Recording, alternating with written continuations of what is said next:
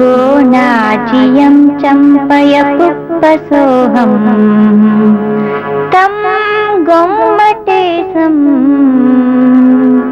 प्रणमामि नित्यम् तं गोम्मटेशं प्रणमामि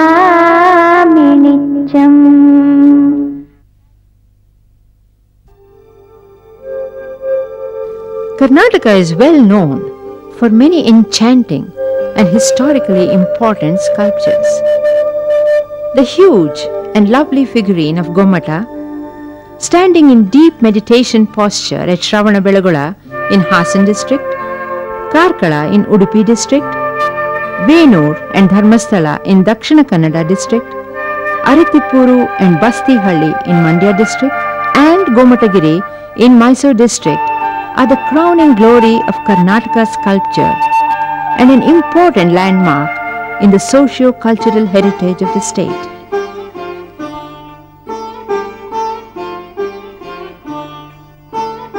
It is of great historical significance to note that the earliest images of Gomata so far are from Karnataka. The seven and a half feet high bas relief of Bahubali in penance inside the Mena Basti cave temple at Badami are the most ancient and date back as early as 7th century AD. Aritipuru in Maddur Taluk of Mandya district was an ancient Jaina center with more than seven Jaina temples. It flourished as a Jaina Tirtha Kshetra and was well known as Kanakagiri during the 8th century and remained so until the end of 16th century. The Manalarasa, who were the subordinates to the Gangas, developed the Tippuru Tirtha into prominent pilgrimage center.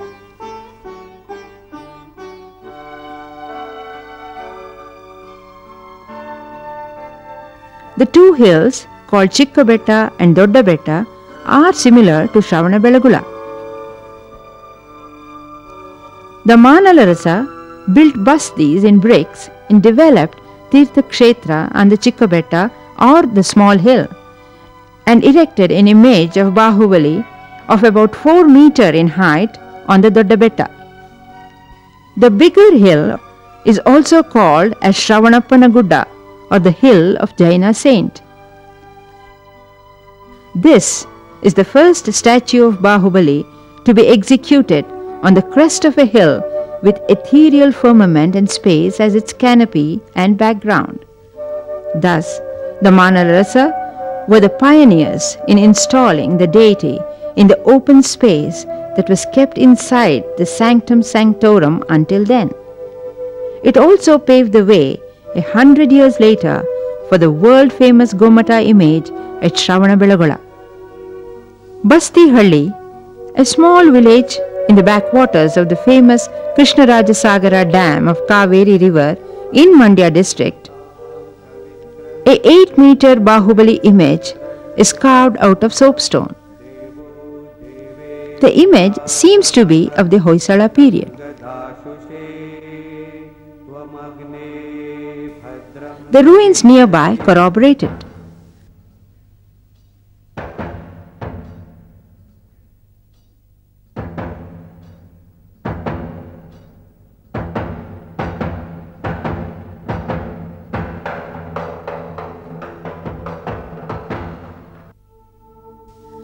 But the extant pillars of the Ganga idiom indicate the existence of a Jaina temple that could be dated to the early 11th century.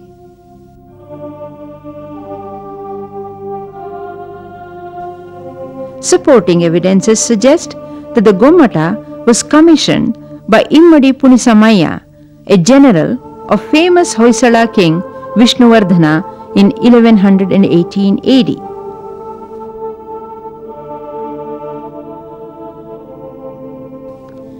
The beautiful Bahubali image in Gomatagiri, 20 km from Mysore city, is a celebrated Jaina center.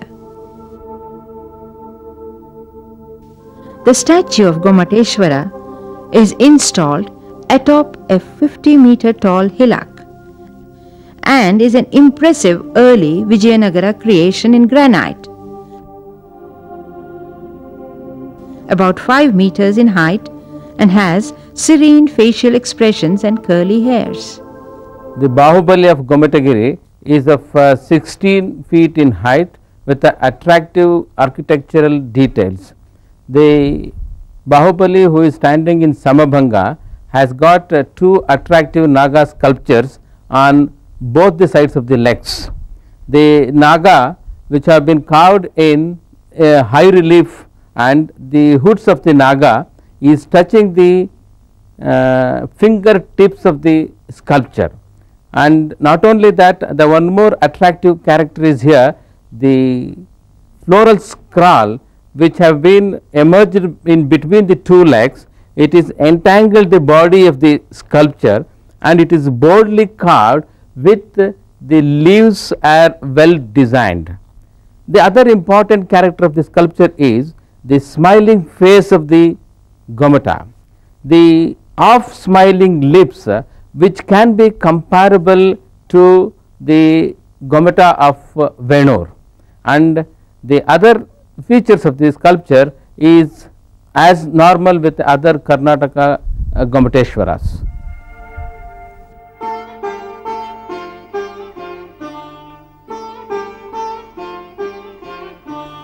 The small hillock provides only an open Garbhagriha with an inbuilt Pradakshina Patha.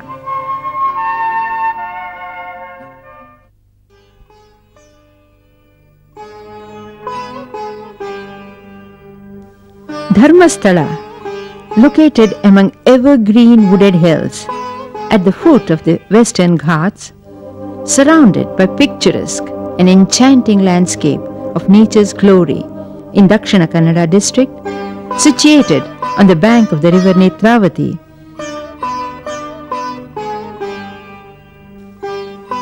It is the most celebrated holy place, famous for its religious harmony, charity, and unbound hospitality. Devotees drawn from all castes and creed throng in thousands every day to worship Lord Manjunatha, the presiding deity. Dharmasthala is a living example of India's unity in diversity, the perfect embodiment of Dharma. The main temple is dedicated to Lord Shiva. The priests are Vaishnavas and the temple is maintained by Dharmadikaris who are Jains by faith.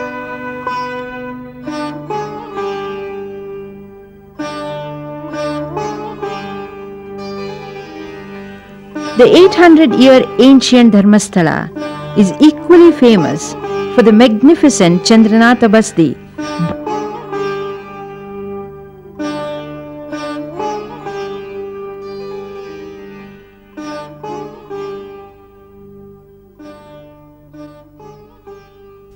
The splendid giant statue of Lord Bahubali is installed on the top of Bahubali Betta.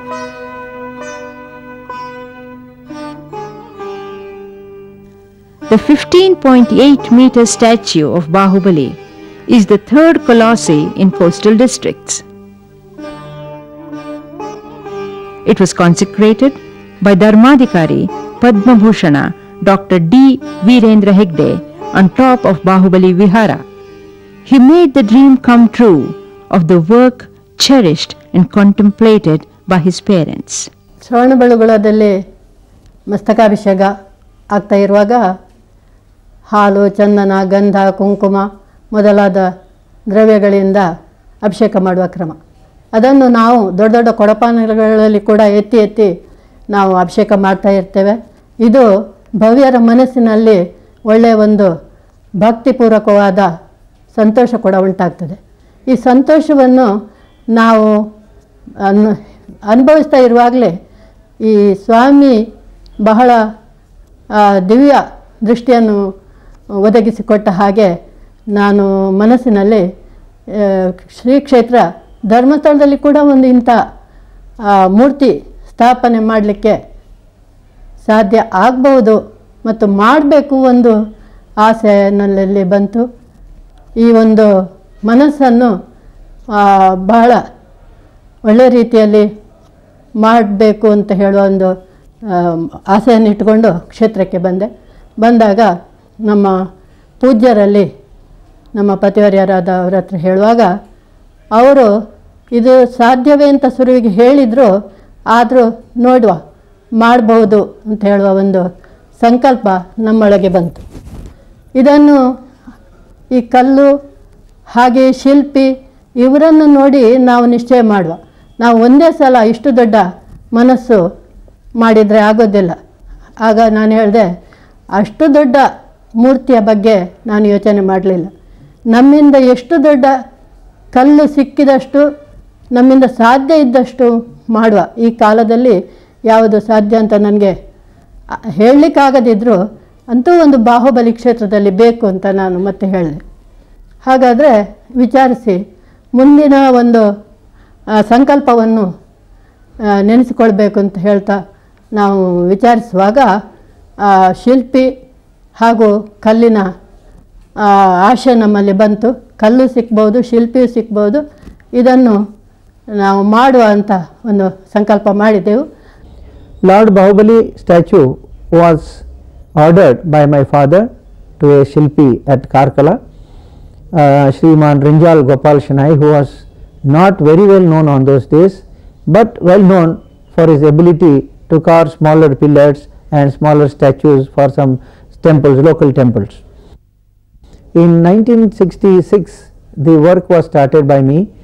It was rather a very strange coincidence that on particular day, the Muhurta, Vijayadashmi day, the Muhurta was given and uh, the presence of my father as Hegde at Dharmasthala was inevitable on that day. So he asked me, uh, I was studying in Bangalore in those days, I was here on vacation, he just said, you go and represent me for the Pratishta, uh, the starting of the work. I went to Karkala on that day, offered the pujas and the work commenced in 1966. And in 68 my father passed away and I had to uh, take care of the carving uh, uh, progress. The work was completed by about 1973.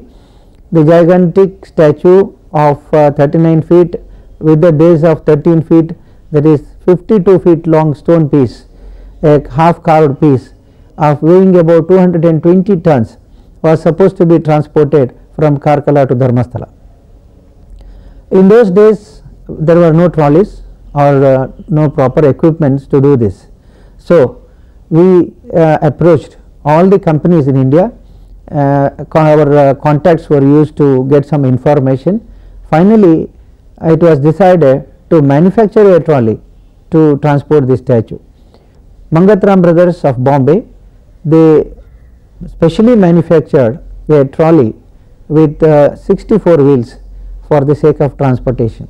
And uh, there was a test trial and drive taking the Manastamba statue stone of about uh, 80 tons as a trial and to see that whether the turns bends can be maneuvered by that vehicle.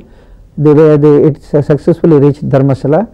Then the statue was again loaded at Karkala with uh, machine power with manpower. Thousands of people were given rope to haul the statue. Tractors were used.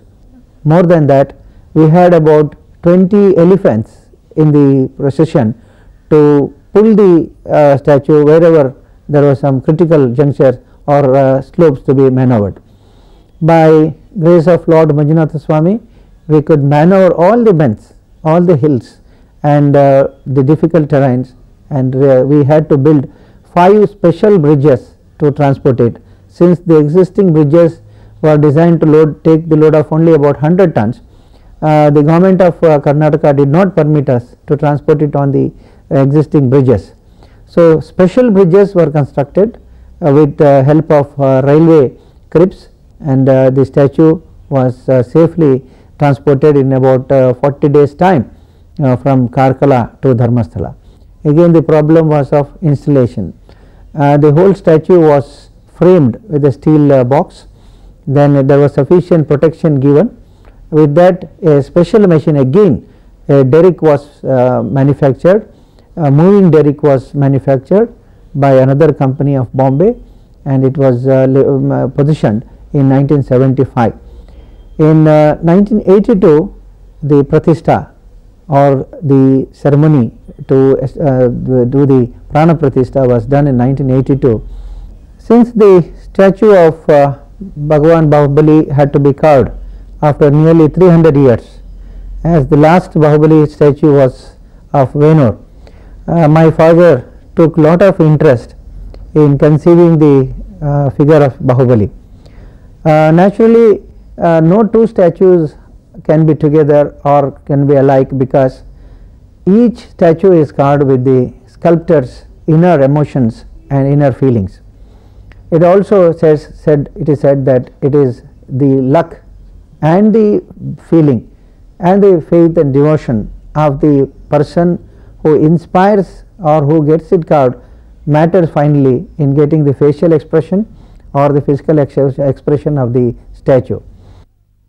Now, if you see any difference between the past three or four statues of Shravanabelagola, Karkala, Venur and other places and Dharmasthala, you see the two uh, side uh, uh, pillars or the um, uh, the pieces on the side of Bahubali, you see lot of carvings of uh, birds, animals, then uh, trees, fruits.